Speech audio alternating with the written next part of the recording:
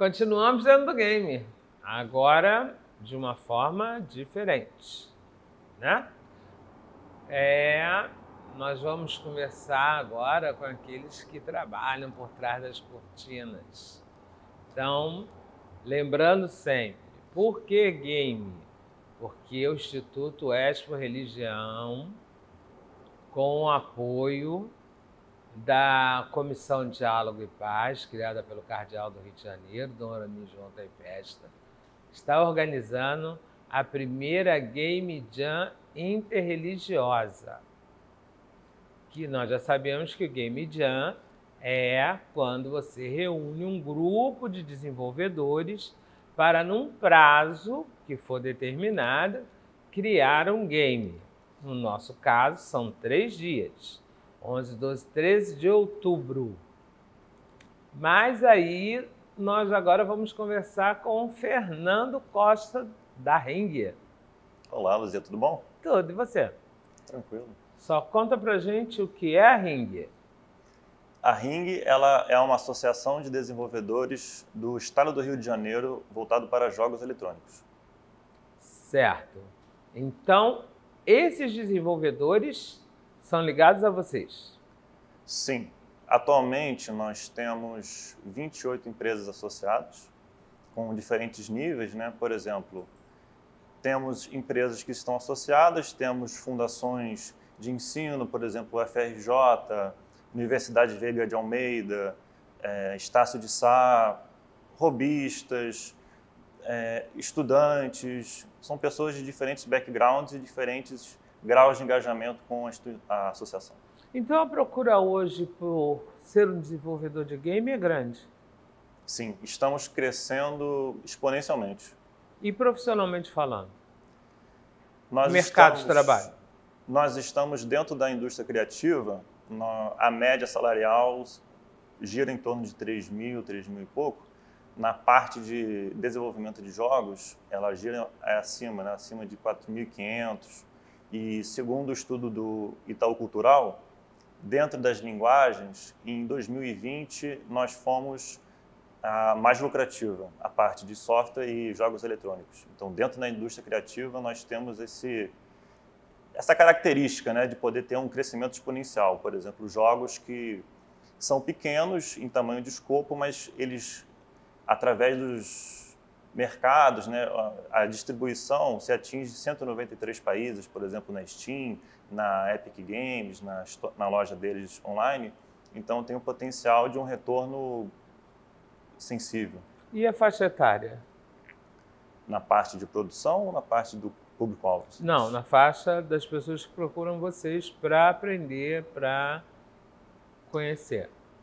Geralmente são jovens estudantes, tanto da por exemplo, no evento da FEComércio que teve, teve um grande destaque para a parte de estudantes da Veiga de Almeida, da UFRJ, né, na parte de ciência da computação. Então nós poderíamos dizer que é uma faixa etária de 18 a 20 anos? Sim. Tá. E sexo, masculino ou feminino? Essa é uma indústria predominantemente masculina, mas isso tem sido revertido com cada vez mais jovens, moças, elas têm participado ativamente e isso agrega muito valor, porque dá um olhar do feminino sobre a obra, né? Por exemplo, a minha esposa, ela ativamente joga jogos, né? Gosta de Assassin's Creed. Faz gosta... parte dos 25%. Faz parte dos 25%. Então o feedback dela é muito importante, porque é um olhar diferenciado, ela tem um perfil diferente. Então ela consegue pegar pontos cegos durante a produção. Isso agrega valor e melhora a experiência do usuário final, que é o jogador. Entendi.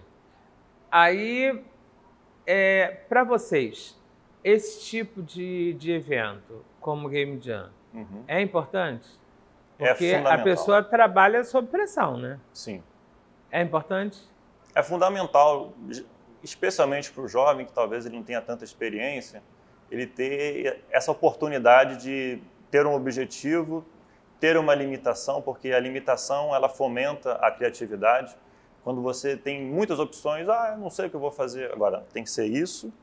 E a partir disso vamos fazer um brainstorm com a equipe, você consegue trabalhar desde pessoas da área da programação, com a área do design, com a área da música, que são pessoas que na sua sala de aula você não vai ter o contato, então você tem uma oportunidade única.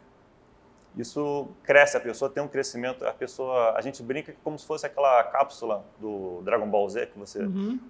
como se fosse um dia, fosse uma semana, um mês, que é um processo intenso, mas ele é muito gratificante no crescimento pessoal e profissional de todos que participam.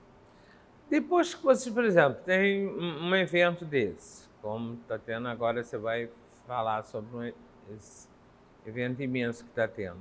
Vocês têm um tipo uma reunião, vocês se encontram, vocês falam sobre isso, como foi, as dificuldades que tiveram. É, após os eventos, né, a parte da diretoria ela tem um, um feedback, né, como nós poderíamos entregar uma versão melhor, por exemplo. Tem um evento da BGS, Brasil Game Show, em 2023. Como é que, a partir da nossa experiência, nós podemos melhorar a experiência em 2024?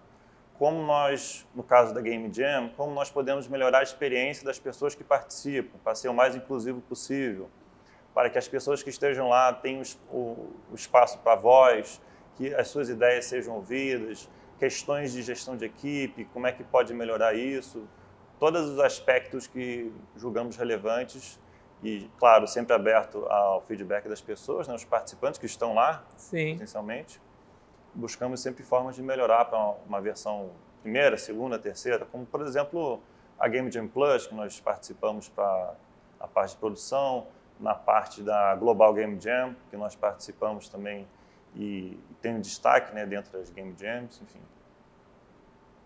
E quanto tempo vocês estão no mercado? A Ring como associação, tem cerca de dois anos de fundação. Só? Para mostrar justamente que a área de jogos ela tem um crescimento exponencial.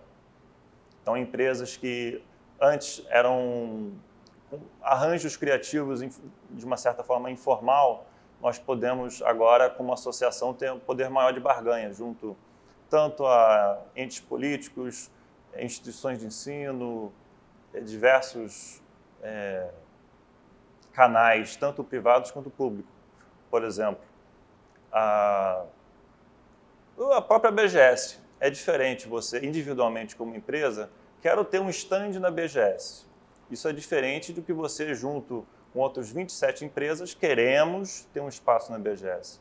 Então, todas os, as atividades que têm benefício coletivamente. E como é que vocês conseguiram participar agora do Rio Inovar?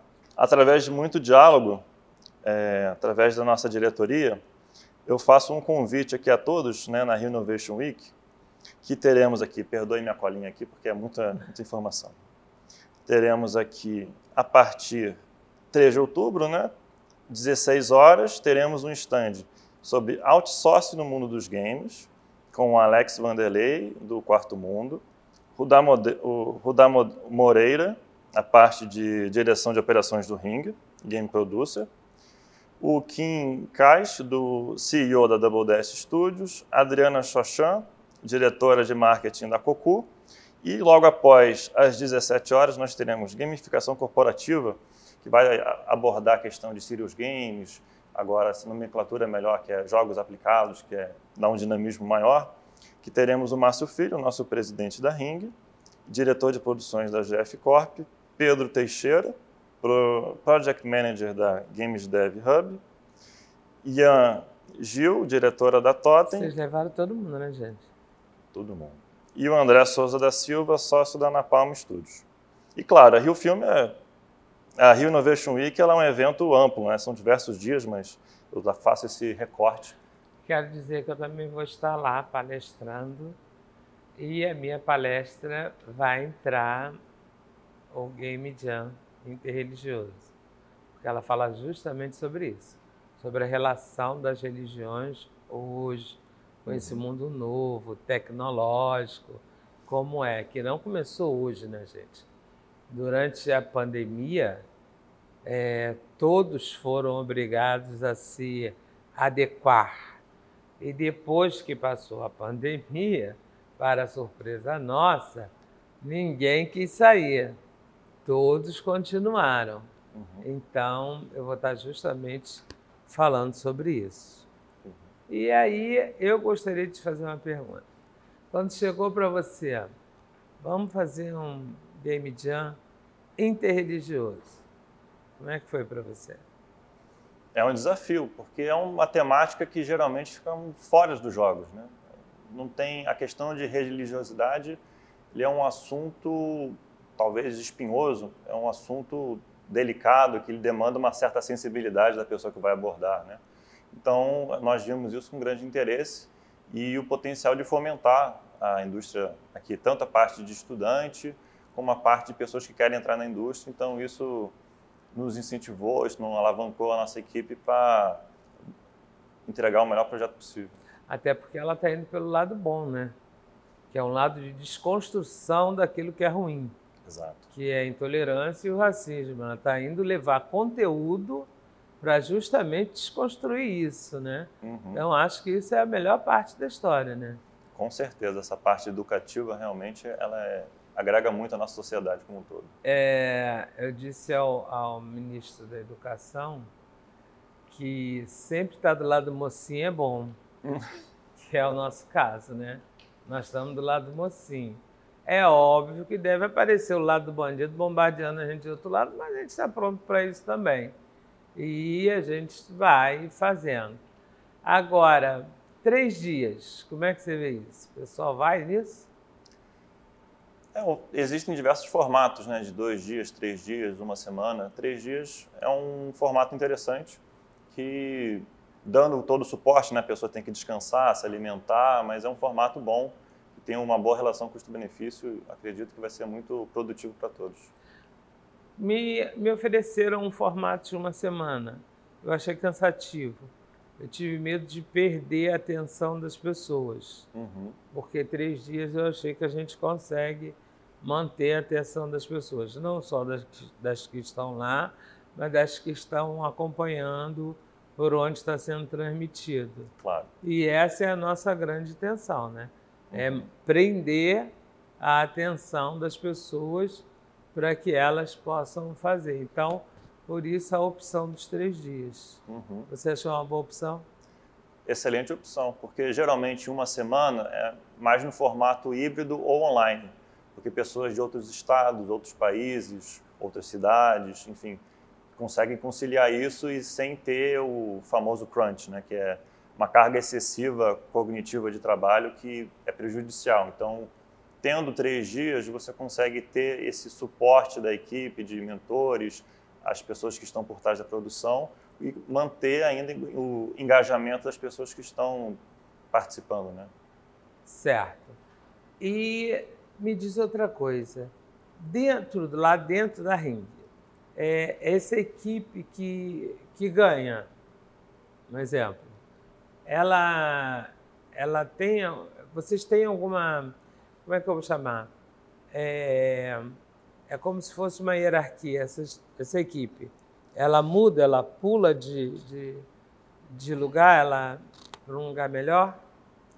Dentro da Ring existe a constituição pelo estatuto social. Né? Certo. Então, por exemplo, temos a figura do presidente, o Márcio Filho, e temos, agora representando nós no biênio 2022-2024, nós temos a diretoria, temos a parte de diretoria de comunicação, a parte de com o Vitor, né? a parte de produção com o Rudá, que vai estar inclusive hoje, mais tarde lá. Temos Queen com o Conselho Fiscal, eu no Conselho Fiscal e mais um membro no Conselho Fiscal. Então, isso é um cargo rotativo que os associados conseguem é, participar. Então, existe voz para todos e, claro, com a hierarquia que toda a instituição demanda e essa rotatividade é muito saudável. Então, nós conseguimos é, diferentes olhares e não ter um vício da instituição com a pessoa física. Perfeito. Nós vamos no intervalo e já voltamos.